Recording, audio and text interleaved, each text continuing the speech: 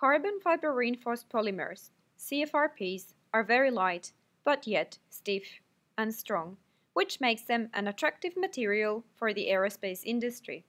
In fact, modern aircraft consist up to 53% of carbon fiber composites. However, carbon fiber composites are inherently brittle and they fail catastrophically. In other words, they're not very damage tolerant. Nature can help us solve this problem because there are many interesting natural composites that have evolved specifically to protect animals from attacks of predators. One of these is the beautiful Strombus gigas shell that has not been studied extensively. This is how the shell looks like and here you can see its fracture surface showing the microstructure of the shell. The shell consists almost entirely of brittle ceramic with only a tiny bit of protein binding ceramic building blocks together.